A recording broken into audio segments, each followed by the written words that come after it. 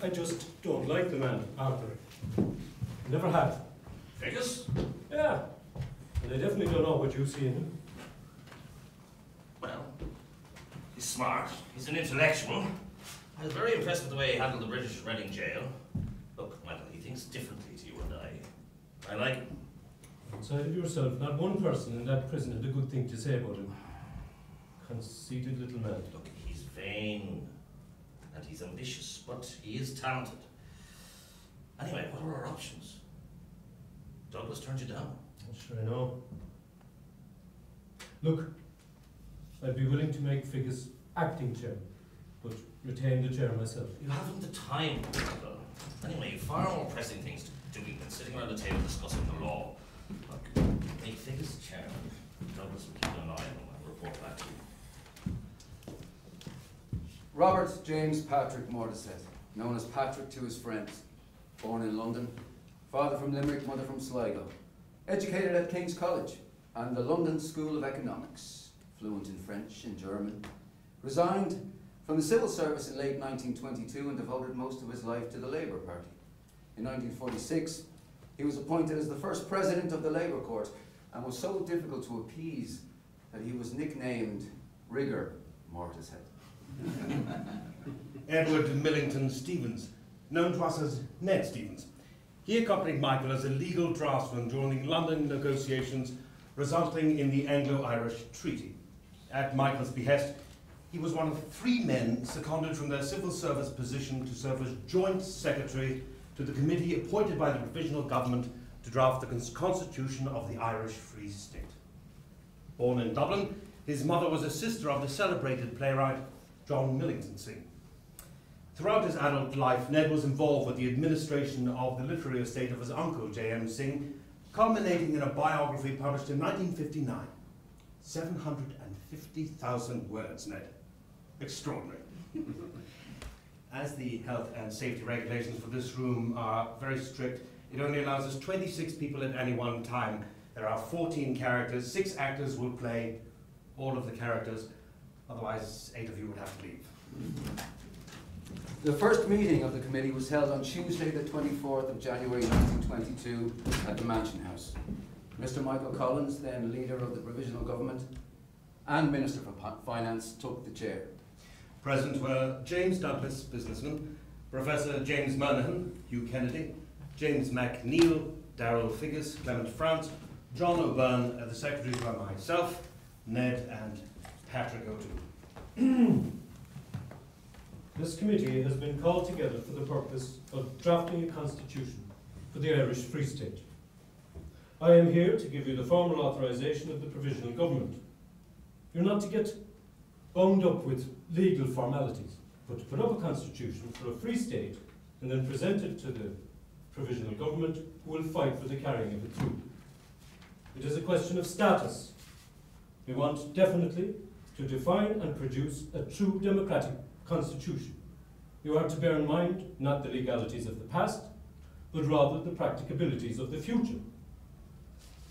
It has also been decided to appoint one of the committee members as chairman, whom the provisional government will look to for the return of its results, and who would be the person responsible to the government representing the committee. Mr. Arthur Griffith will propose a name. Thank you, Michael. Um, I would like to concur with what Michael has said, and uh, most importantly, to reiterate that you are not to stand on legal formalities, but to make the Constitution as free as possible, unlike other constitutions. Um, I nominate, nominate Mr. Darrell Figgis as chairman of this committee. I second that. Very good. Well, if that is all, gentlemen, I shall take my leave. We're all very grateful to you for your contribution to this task. Right.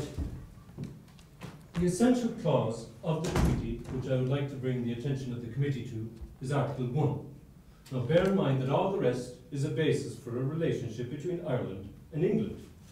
You are to fit everything you can into the Constitution under Article 1. Article 1 of the treaty states that Ireland would have the same constitutional status in the British Empire as Canada, Australia, New Zealand, and South Africa, with a parliament having powers to make laws for the peace, order, and good government, and an executive responsible to that parliament. styled and known as the Irish Free State. I am happy, of course, for the committee to make its own arrangements, but one thing I do want to say is that Articles 3, 4, and 6 of the treaty should be left out of the Constitution altogether. Article 3. The representative of the Crown in Ireland shall be appointed in like manner to the Governor General of Canada. Article 4. We do solemnly swear truth, faith, and allegiance to the Constitution of the Irish Free State as by law established, and that we will be faithful to His Majesty King George V. Ha! Well, that won't be happening anyway. And Article 6. Until an arrangement has been made between the British and Irish governments whereby the Irish Free State undertakes her own coastal defence, the defence by sea of Great Britain and Ireland shall be undertaken by His Majesty's Imperial Forces. I'd like to make it clear that we consider a bicameral legislature necessary in order to give the Southern Unionists fair play. Uh, excuse me, Michael, uh, may I? Uh, bicameral literally means two chambers, and in practice refers to a government structure involving two houses or two legislative bodies that are separate in deliberation from one another. For example, the Seanad and the Dáil. So, in conclusion, there are four requirements within which this constitution must be drafted. Firstly, that it should provide for a free and democratic state. Secondly, that it should be within the treaty. Thirdly, that it should provide for a particular position of the six northeastern counties of Ulster. And fourthly, that it should provide certain safeguards for the old unionist minority in other places of Ireland.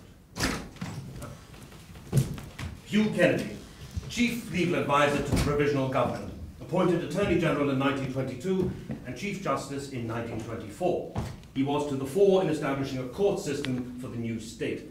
The Provisional Government experienced considerable difficulty in obtaining the approval of the British government for its proposals in this constitution.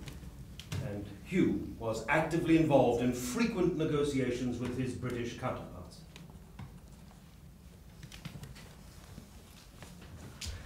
Now, will the draft constitution be submitted to the British government before going to the Irish Constituent Assembly? Excellent question, James. Mm-hmm. That point will require consideration. James Douglas, a young Dublin Quaker businessman, a nationalist. His whole outlook was changed when he became convinced after the 1916 Rising That Home Rule could never satisfy Ireland's nationalist aspirations. He has been a trustee and treasurer of the Irish White Cross Fund, American aid that alleviated suffering during the Civil War, where he met Clement France and was to play an honourable part in the efforts to end the Civil War. He later became the first vice chairman of the Irish Free State Senate. James saw his role in some measure as that of an agent for Michael on the Constitution Committee and complied with Michael's request to report regularly what, what occurred at meetings. Submitting a draft to the British government would not be acceptable to any of the existing British dominions. It is contrary to both the spirit and the letter of the treaty. We should urge the British to immediately pass a short act making provisions of the treaty legal, thereby making the adoption of a constitution by the Irish Parliament legal according to British law. The passing of an Irish constitution through the British House, as suggested by you, would be rightly regarded by a very large number of the present supporters of the treaty as acceptance by our government of a position definitely subordinate to Great Britain and admitting the principle that even after the passing of the treaty, power was derived from the British king, other than, as ought to be the case, from the people of Ireland. Uh, James, James, James. I don't want to get into that now. Look, I would advise this committee to ignore procedural questions and plunge vigorously into the work of the Constitution itself. It is imperative that this draft Constitution be with the provisional government before the 28th of February. The British have agreed to the process if we can get it to them by the middle of March. I would encourage you to keep the Constitution as simple as possible. In the simple draft suggested, this could act as our permanent constitution and it need never be altered, but it could be added to when the final stages of complete freedom are gained. All right? Good. Mr. Figgis? Gentlemen? Um, proposal by Mr. C.J. France. Mr. Clement France, American, worked at the White Cross Committee with James Douglas, who recommended him for this committee. Michael is happy to have him on the committee, but would like him to remain anonymous. I propose that this committee express its appreciation for the decision of the government that new members should only be added with the concurrence of the committee. Thank you, Mr. France. Further, it is agreed no statement will be issued to the press regarding personnel of this committee. And it is agreed that Gavan Duffy should be requested to assist the committee. It is agreed that the committee should procure suitable rooms for the work of the committee. It is agreed the chairman should purchase a set of books for each member of the committee, including copies of the treaty. It is agreed the next meeting of the committee will be at the Mansion House on Thursday, the 26th at 8 p.m. Actually, the second meeting of the committee was held here, in this room, on the 27th of January 1922. The draft of the Constitution took 27 further meetings to be finalised. It is our intention to present the details of those 27 meetings in 27 minutes. Darrell Figgis, the most unpopular and disliked man in Ireland. Even went to the Aran Islands, Ned, like your uncle, to learn Irish. And still the people hated him. That might be the case, James, but he still tops the polls. 15,000 votes in Dublin this year. An fear face ógach. More a literary than a political man. Admittedly unpopular with a large number of people of varying points of view. Accepting his obvious lack of personality, it has to be agreed he had a major influence on the shaping of the Constitution, both in his daily attendance at the committee and in subsequent debate in the Constituent Assembly. What lay ahead was scandal, tragedy, written out of Irish history. Your uncle could have written a good play about him, Ned. Good evening, gentlemen. Welcome uh, to the second meeting of this committee. I would like to say a few words before we begin. Oh, here we go. During the early days of the Second French Republic, a customer entered a bookseller's and asked, Have you a copy of the French Constitution? We do not, the bookseller politely replied, deal in periodical literature. now, to any student of history, such a story is a sure indication of the time of which it is told. He need not inquire to know that the time was one of revolution, change, and unsettlement. He also knows the mind of the people of that time, for insecure conditions beget a nervous, restless fear. And these things are significant. They reveal a quality of constitution making that is not always or easily remembered. For, Whatever changes may proceed in legislation, however many and rapid they may be, as long as the Constitution, written or unwritten, remains intact, the state at least is stable and its foundations are secure. Plainly, therefore, nothing should be written into a constitution that is of a temporary, experimental, or questionable nature. A constitution is that which is permanent, as far as anything in the world may be permanent. To change it or recast it requires a revolution. It should therefore be the business of constitution makers to prescribe only what to them is fundamental and irrefutable, to lay down the secure foundations of their state, and to leave all other matters to the experience of the nation. This, then, is the first definition of a constitution that it contains the fundamental law of the state and only the fundamental law. I would like to. Item one on the agenda. New members. Uh, Thank you, Mr. Stephens. Uh, the chairman intimated to me yesterday that the provisional government desired that Profes- Professor Alfred O'Rahilly from University College Cork should be added to the committee and had asked him to make a suggestion to that effect to the committee. Proposed by the chairman, seconded by Mr. John O'Byrne. Motion carried unanimously. Um, Mr. Gavan Duffy will be unable to join the committee, but will give whatsoever assistance that he can. Now, I believe an act should be passed without delay by the British government, ratifying the treaty, and thereby making the adoption of this constitution by the people of Ireland legal under such law. I mean, otherwise, there is a danger that the British might refuse to ratify the treaty if they do not like the constitution as passed by the Dáil. Well, respectfully, I remind this committee of our instruction from Mr. Collins. We are not negotiators. In this committee, our task is not to suit the British government, but the Irish people. Hugh Kennedy was supported by John O'Byrne from Tullow and County Carlow and educated at the Patrician Monastery and UCD.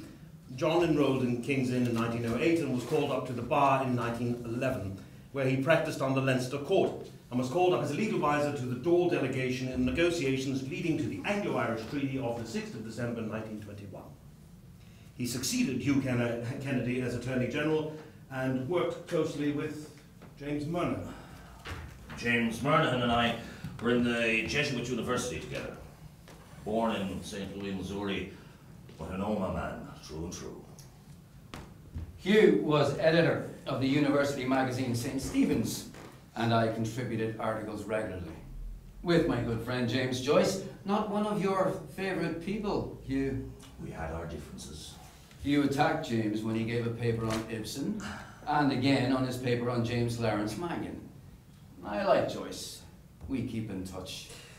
He never forgave me for winning the election for the Auditor of the Society. If I may, I wish to read you a letter I wrote yesterday to the chairman requesting a meeting to discuss a number of financial details of some importance. I had a conversation with Arthur Griffith on Wednesday and went ahead and made a number of arrangements. I have arranged a suite of rooms here at this hotel at 17 guineas a week, uh, firing for each of these rooms at 30 shillings a week. This won't complete the expenses. The committee is sitting for long and continuous sessions, and as a result of yesterday's experience, I will order tea while we are engaged in this way.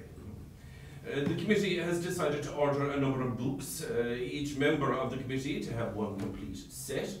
I now learn that these may be ordered through the stationery office, but this will prove impossible for us, I fear, for the stationery office generally takes about a fortnight to get a book from the London publishers, and by the arrangements I have made with the Irish bookshop, I am having these books telegraphed for, and already some of them have arrived. Uh, I have engaged two typists at three pounds each a week and an office boy and a messenger.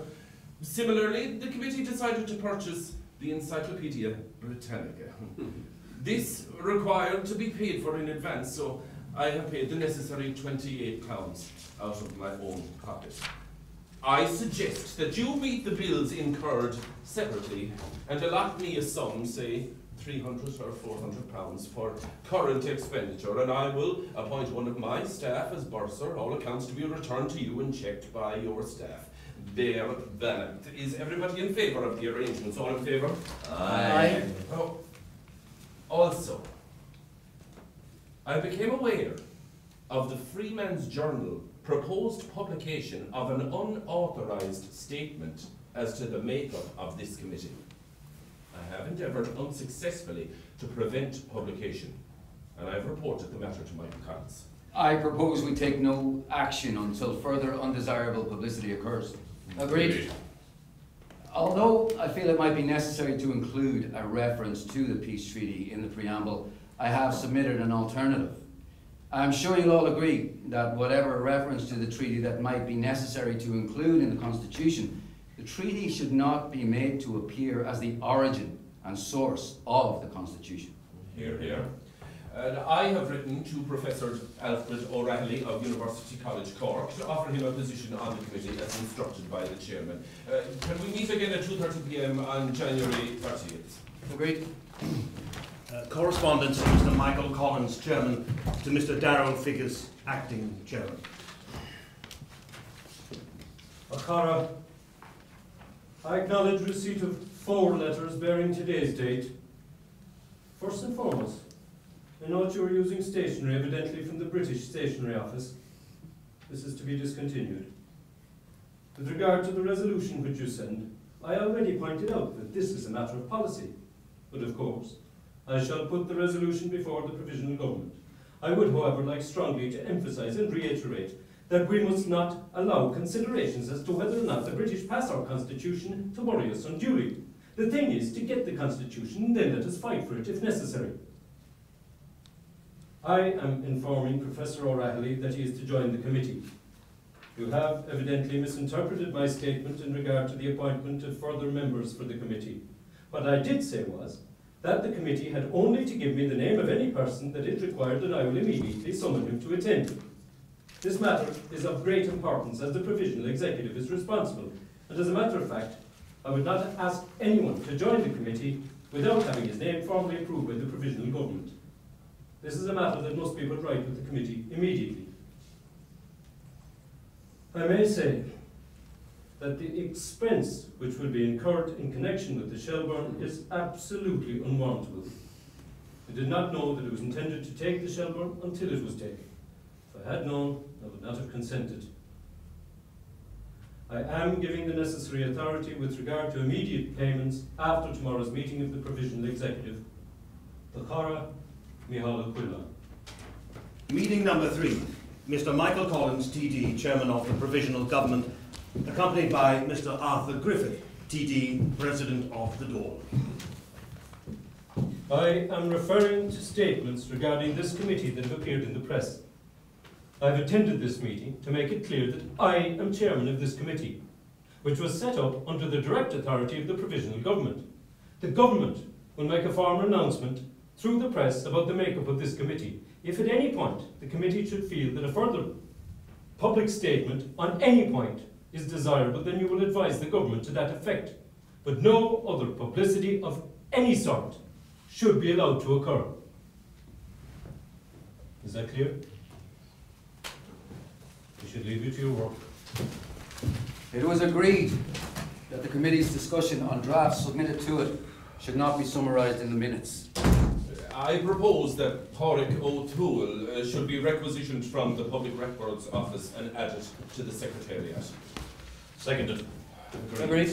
The committee discussed in detail document 5, chapter 3, uh, legislature articles 1 to 18, and first house articles 1 to 12. After a long day, the meeting adjourned at 10 p.m. The sixth meeting of the committee discussed the powers of the second chamber and the relationship between the first and second chamber. It was agreed in minute four of the sixth meeting that the chairman should communicate with the government with regard to the Southern Unionists. The seventh meeting of the committee opened with a discussion regarding minute 4 of the sixth meeting. It was agreed that the committee should proceed with its work and leave the matter of the Southern Unionists to the government. The discussion on the second chamber continued. The eighth meeting was a concentrated discussion on the executive, while the ninth meeting centred on citizenship. At lunchtime, the ninth member of the committee arrived. Professor Alfred O'Rahilly of University College Cork. Welcome to the committee, Professor.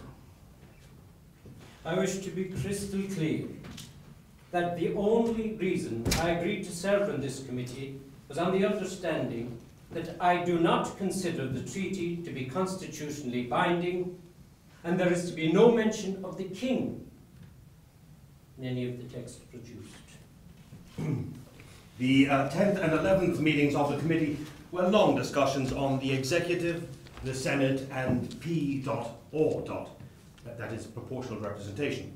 At meeting 12 of the committee, a discussion ensued regarding the possible provision of the Constitution in regard to economic resources of Ireland.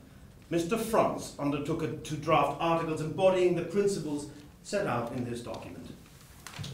One would surmise that our meetings were a touch chaotic or that there was no clear focus, but this couldn't be further from the truth. We were following two very clear paths the draft based on Collins' suggestions and the Figgis draft. Michael's suggestions for a proposed draft constitution. Number one, Ireland shall be styled and known as the Irish Free State, which shall be derived from the people of Ireland alone. Two, the legislative power of the Irish Free State shall be vested in a parliament, which shall consist of the representative of the British Crown in Ireland to be called the Irish President, and a Senate and a House of Representatives and Deputies. It shall have powers to make laws for the peace, order, and good government of Ireland. 3. The President of Ireland shall be appointed in like manner as the Governor General of Canada. Number four, the Senate should be composed as follows. Five, the House of Deputies should be composed as follows. Now, number six, regarding the oath. We must not allow in any expression that the executive power is vested in the King. Whatever the direct influence of these statements on the committee as a whole, Figgis had already circulated a memorandum on procedure which detailed a strategy of approach remarkably similar to Michael's suggestions. Figgis's initial scheme envisaged a constitution of seven chapters. Number one, a preamble, briefly reciting the rights of the people. Uh, Patrick, if I may. Of course. A preamble is the introductory part of a statute or deed stating its purpose, aims, and justification. Thank you. Uh, number two, general, dealing with the flag, rights of free assembly, and citizenship. That there should be no religious tests or differentiations. Number three, dealing with the National Assembly, popular assembly, upper house, and their relations in that order. Number four, executive government. By this method, it would be, appear clearly that the executive government consisted of ministers who are ministers of Dáil Éireann, the representatives of the people, and therefore ministers of the people themselves. It would be shown clearly that all executive function, including the military forces, were created by democratic sanction. Five, however, the king's representative. Uh, Mr. Mortished, Mayor. Please. Thank you. Number five. At this point, I may say that the title resident minister has been suggested to me, and I mention it at this point in order that it may be brought to the attention of the committee without professing any unnecessary enthusiasm for the title. It is obvious that this person, however named, however named, will exercise certain authorities that would appear as though they had emerged from his own self-sufficient will, such as the prerogative of mercy and perhaps the appointment of judges. the order suggested will show that these authorities are in fact bestowed upon him. In the same section, it will be necessary to deal with the persons who comprise his council. I believe that this will prove to be a matter of critical importance. In my own judgment, I think the day of the Privy Councillors is long past, and the only council should be the entire ministry. Mr. Figgis's, or perhaps his advisor's perspicacity is evident here. Uh, Patrick, me again, um, sorry. Perspicacity, the quality of having a ready insight into things, and inherent shrewdness, I suppose. Thank you, Ned. And the question of the Privy Council. Uh, the Judicial Committee of the Privy Council, the highest court of appeal, of, of appeal in the British Empire. Privy meaning private or secret. They had the ear of the king. Unfortunately, they had the ear of three fanatical unionists too, in Carson, Sumner, and Cave. Indeed. But Mr. Figgis was correct. The British were particularly alarmed by the exclusion of the Privy Council appeal, uh, by the assertion that the decisions of the Irish Supreme Court would be final and conclusive. Number six covered the judicature, and number seven, finance. Other sections can deal with various other unspecified matters, but these fall naturally into place if the order of the approach can be agreed. Whatever we may say about the strengths and weaknesses of the constitution of this committee, this plan, broadly speaking, was adopted, as can be seen in all subsequent drafts of the constitution. We moved quickly. We met daily, often for two sessions, and within three weeks, we had formulated a full-scale draft. This was our discussion on the provision of a second chamber. The Senate, effectively. I am completely opposed to a second chamber. A good one cannot operate, and a bad one is worse than useless. Uh, Yes, I am also opposed to a nominated chamber. The election of members on a basis of trade, profession, or other interest would be very difficult. I am also strongly opposed to Southern Unionists having special representation. I would question whether the clergy should be included in the upper house. Murnaghan and McNeill are also opposed to the idea of a House whose main function is to delay legislation. O'Byrne suggests a minimum age of 30 for voting and a small membership, large electoral areas, and a fixed term of 10 years. Let's review quickly. If the Senate is devoid of power, no man of importance will sit on it. But I object to Mr. Francis' scheme, which only allows the selection of prominent men. The most important thing for Ireland now is quick legislation. If the second house are elected, they may vote with the lower. After this wide-ranging discussion, we agreed the powers of the upper chamber will be suspensory, not veto. It will have the power to initiate legislation, except in financial matters. It will have the powers of revision, and its powers of suspension should not extend beyond a general election. This treatment gives you a good impression of the thoroughness of our work and our capacity to reach agreed recommendations quickly. Resolutions of disagreements were not always so smooth. From the outset, there were tensions. Figgis was great at attendance and drafting documents. He was also vain, unpopular, and suspicious. O'Rahilly attended, rarely attended, but when he did, he attacked Figgis. Mr. Figgis, your original draft is no more than an English translation of the Weimar Constitution. I agree with you, Professor, but your attitude is, is purely individualistic. I understand that you have been meeting Erskine Childers regularly to discuss this constitution. I, I met him once for two minutes on a tram. And furthermore, Mr. Figgis, this committee is not taking into consideration the importance of Catholicism to this constitution. Minutes of the 20th meeting of the committee held at the Shelbourne Hotel, Dublin, on Sunday, the 19th of February 1922 at 3 pm. I would like to propose a sentence in the judiciary section prohibiting corporal punishment. I second that. Unfortunately, this proposal was not accepted in Ireland until much, much later. Uh, the committee then separated for the purpose of drafting the alternative proposals dealing with the Executive Council, which in modern terms would be the Cabinet. The main form of disagreement was neither personal nor religious. It hinged on the form of the Executive Council to be incorporated into the new constitution. At the 21st meeting of the committee, it was agreed that the chairman would write to Professor O'Rahilly asking if he had any alternative proposals to submit. I have looked over the draft as approved by the other members of the committee. I greatly regret that under practically every section I am in disagreement therewith. I do not think that I should be justified in further encroaching on the time and attention of my colleagues. I therefore propose to proceed as rapidly as possible with my own draft, which I intend to present as an independent minority report. Minutes of the 24th meeting of the committee at the Shelbourne Hotel, Dublin, on Friday, the 3rd of March. In view of the difference that had become apparent the previous day, the committee agreed it has become inevitable to present three separate drafts. The three groups were therefore occupied during the entire day with the preparation of their own drafts. Uh, draft A was signed by Darrell Figgis, James McNeill, and John O'Byrne. Draft B, signed by James Douglas, C.J. France, and Hugh Kennedy. Draft C was signed by Professors O'Rahilly and Murnaghan. Mr. Figgis wrote a letter to Mr. Collins. A Chara. Since we were appointed to you, since we were appointed by you on the 24th of January and charged with the duty of framing the Constitution for Saorstát Éireann, we have met on 27 occasions in full committee.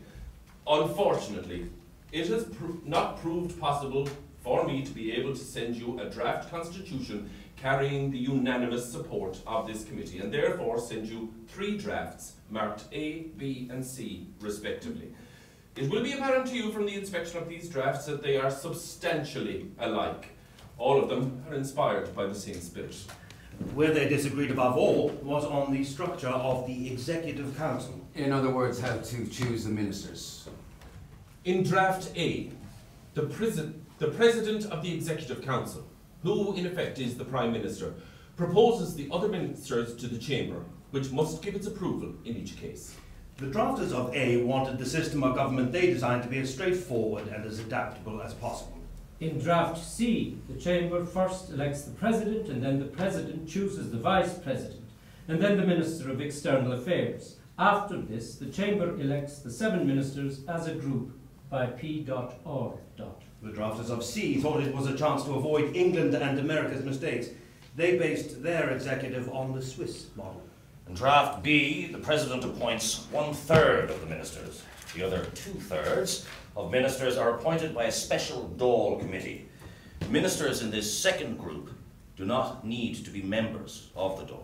The drafters of B designed their sp- system specially so the Dáil could choose anti-treaty ministers for the government. They were trying to prevent a civil war. In my accompanying letter of draft B, I wrote that what the other two drafts failed to take into consideration that whatever the future, we have one outstanding fact, one overwhelming fact in the present. That fact is Ireland is split into two contending forces. We hold that unity can be obtained. We hold that the country demands a constitution which makes unity possible. We want a provisional government to be able to say to the opposition, we desire you to cooperate with us in building up Ireland, in giving it strength. This is how we provide for you. You can hold important ministerial posts together with us on all internal affairs. We alone will be responsible for external affairs, and if we cannot deliver the goods, as you contend we cannot under the treaty as to external affairs, we alone shall be held responsible. When Mr. Figgis found out the drafters of Constitution B had written a note arguing for their text, he did the same. The authors of Draft A all signed it. A Chara. As signatories of Draft A of the Constitution, it had not been our original intention to submit a separate covering letter. It was our belief that the differences between the three drafts would be sufficiently apparent to you.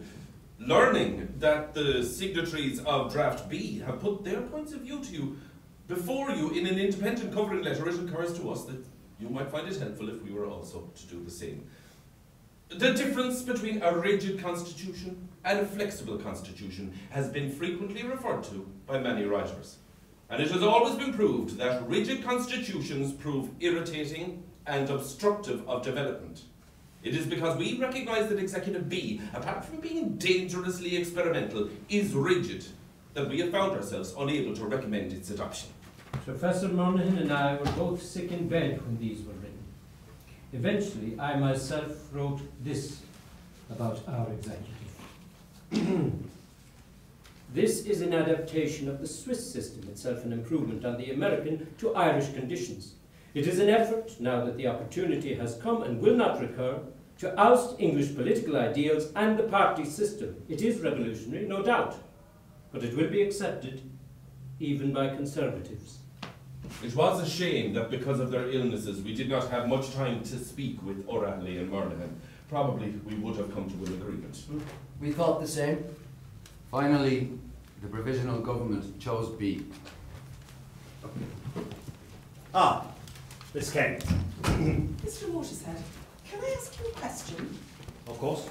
Ethel Mat- Matilda Kane from Ballymote in County Sligo, a stenographer, one of three, including Miss Saunders and Miss Jones. Their contribution to this constitution has been exemplary. Where do we fit in? I'm sorry, I'm not, I'm not quite sure I understand. We? Yes, us, Irish women. Where do we fit into this constitution? Well, I, I, um, well, it would, uh, um, Mr. Kennedy. Well, um, all citizens of the Irish Free State, Saorstát Éireann, without distinction of sex, who have reached the age of 21 years and who comply with the provisions of the prevailing electoral laws, shall have the right to vote for members of Dáil Éireann and to take part in referendum and initiative. All citizens of the Irish Free State, Saorstát Éireann, without distinction of sex, who have reached the age of 30 years and who comply with the provisions of the prevailing electoral laws, shall have the right to vote for members of Seanad Éireann. Now, Mr. Kennedy, you and I both know that you can't take all the credit for that, as it was clearly laid out in the 1960 proclamation that a permanent government would be elected by the suffrages of all her women. True, true, but we did follow instructions. And I'm sure I speak for all the stenographers when I say that this is a constitution that is based on men discussing the rights of women with ne'er a woman on the committee. Why is there no woman on the committee, Mr. Kennedy? Well, I imagine it's because there are no female lawyers, isn't it? I'm begging your pardon, sir, but Miss Averil Deverell and Miss Frances Kyle were both called to the bar at the end of last year. First women ever in Ireland. Uh, Well, I suppose with the uh, negotiations and, um, And not everyone on the committee is a lawyer, Mr Kennedy. The sad truth, Miss Kane, is that it probably never occurred to us. Even if we had been inclined, there were very few women in the political sphere suitable. suitable. Most are Cumann na mBan and anti-treaty. They are against 419 to 63. They nicknamed it the Women and Children's Party. Uh, To our credit, though, there is Chapter 1, Fundamental Rights of the People, in a draft called Document Number 3. Article 1 of this draft provided as follows. All Irish men and women have, as citizens of Saorstát Éireann, fundamentally the same civil rights and duties. All Irish men and women are members of one common society. Just to let you know, Mr Mortished, neither Miss Saunders or myself were able to attend work last week because of the fighting. I have written to Mr Figgis to notify him and let him know that we did instead work for St John Ambulance. Thank you, Miss Kane. This was a very difficult time in Ireland, and more specifically in Dublin itself. In January, Eamon de Valera had resigned as president of the Dáil, and Arthur Griffith's motion in favour of the treaty was passed by 67 votes in favour to 54 votes against. In February, the Irish Free State Act 1922 is introduced in the British House of Commons. It provides for the dissolution of the Parliament of Southern Ireland and the election of a Parliament to which the provisional government will be responsible. In early March, we presented our three drafts. We were very aware of the task before us. We were being asked to create a blueprint for a new state and, more importantly, to prevent a civil war and a return to hostilities. The significance of this was not lost on us. The constitutional experience of the members of the committee was limited. The system we were most familiar with was the British system, but we knew this was unsuitable in an Irish context. There is also the matter that the British system has the crown as sovereign. We were all agreed that we wanted the people as sovereign. An obvious choice for us was the American system, and Kevin O'Shiel had written a book on it. Unfortunately, Kevin missed many of the meetings and declined to support any draft. The committee agreed the American system didn't suit Ireland because it was too federal. Uh, CJ, if I may. Of course not. A federal system is a system of government in which several states form a unity but remain independent in internal affairs. I like the German or Weimar system. Uh, yes, we're all very aware of that. There is no question that the best constitution around at the minute is the Swiss constitution. I had plenty of time to analyse it when I was imprisoned on Bere Island in Cork. The government have given all three drafts to George O'Brien Emeritus Professor of Economics at UCD and Timothy Healy. from Cork. Those three masterpieces you sent me were raw and pure fudge. What is wanted is dry, unassailable, frigid technique, which can't be quarrelled with by either Carson or De Valera, but which, by its generality, imports and attracts the utmost sovereignty, without saying so. This can be done more effectively by vagueness than by assertions. Not definition, but looseness is what's needed, provided the looseness favours the Irish construction or interpretation hereafter. We need vagueness instead of definition, but above all, the definition of Tir na Nog or Noah's Ark. Leave no loophole or for attack or cramp. Banish sentiment. Imitate the style of a bill of costs. Cherish the acorn and keep away from transplanting oaks. Have one eye on Carson and the other on De Valera. With regard to Mr. Healy's criticism, I recorded only that the suggestion that the committee appreciated is the suggestion to shorten, and that we had already done that as far as was possible at the time. Here, here. Uh, the criticism of George O'Brien were a, a great deal more detailed and difficult to deal with. It was always likely that the government would choose B as the basis for the Constitution.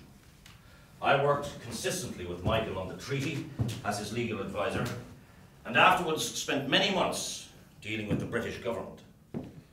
I had a hand in drafting the main structure of the Constitution, so I had an unfair advantage over the others. I was extremely proud to be involved in this committee, and while we were disappointed at being unable to come up with one single draft, what we achieved in the time frame we were given was remarkable. Hugh Kennedy was the first Chief Justice of the state and served from 1924 to 1936. He was also a member of the first Supreme Court, which included James Murnaghan and Gerald Fitzgibbon. He died suddenly of a heart attack at the age of 57. When the government came to appoint judges to the hierarchy of new courts in 1924, there was quite a shortage of suitable Catholic judges, and James Murnaghan was surprised to be promoted from his position of junior counsel to the High Court. The government were anxious to achieve a balance between unionist and nationalist appointments. A year later, Charles O'Connor passed, and Murnaghan was appointed to the Supreme Court with Hugh. James Murnaghan was a connoisseur of fine art, and his house in Upper Fitzwilliam Street contained valuable furniture and many paintings, which he had bought in the early 1920s in de dealers' shops along the Dublin Quays. He retired from the bench in 1953 and died in Dublin on 13th of November 1973, aged 92. His wife, Alice, survived a robbery of his art by Martin Cahill in 1988. She passed away at the age of 104. Clement J. France was recommended to the committee by James Douglas because of his American legal experience and his work with the White Cross organization. Douglas regretted the decision afterwards when receiving information from Irish sources in America. The face value of the correspondence makes France look like a, a pure adventurer. But adventurer or not, France made a sizable contribution to the Constitution with regard to natural resources and complete economic freedom for Ireland. One of the most important contributions of all the committee members to the Constitution was made by Darrell Figgis. Mostly unheard of and written out of Irish history, he was a major influence on the shaping of the Constitution, both in his daily attendance at the, at the committee and in his subsequent debate at the Constituent Assembly. His career was to end in tragedy. In June of 1922, Harry Boland sent three men to his house. They burst into his home terrifying his wife Millie, who assumed they were coming to kill him. They rammed him into a chair and shaved off half his beard to teach him a lesson. The repercussions of this were tragic.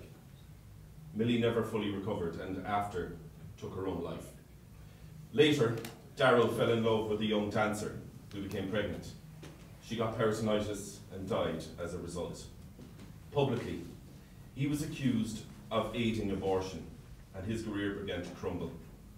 He rented a small room in a boarding house in London, and blocking all the doors and windows with cloths, he gassed himself.